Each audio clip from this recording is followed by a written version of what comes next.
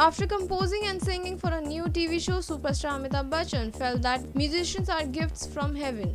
In the honor of musicians, the 72 year old Piku star, who is busy composing and singing for a new TV show, said the artists are blessed. Bachchan said the possess skills are blessed. We are not because of, we are not the closest to the Almighty. We are not the closest because we are distanced from the creative art of making music or even making effort in that direction. Bachchan addressed them as a superior race and went on to share his long-lived desire of learning the art. If I ever I do get the opportunity to learn the craft, I'm absolutely certain that its knowledge shall be constrained by any kind of public exhibition. Musicians are the superior gifts from heaven. They must live well and live content lives, he said. Powered by NNIS.